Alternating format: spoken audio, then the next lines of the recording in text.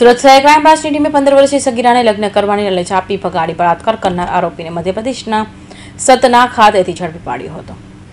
શહેર ક્રાઇમ બ્રાન્ચની ટીમે મધ્યપ્રદેશના સતના જિલ્લાના તિધરા ગામ ખાતેથી બળાત્કારના ગુનામાં વોન્ટેડ ચાલીસ વર્ષીય અનિર ઉલ્ફે કલ્લુ ધંધોલી પ્રસાદને ઝડપી પાડ્યો હતો. પાછલા બાર વર્ષથી નાસ્તા ફરતા આરોપીએ કબૂલાત કરી હતી કે વર્ષ બે હજાર અગિયારમાં.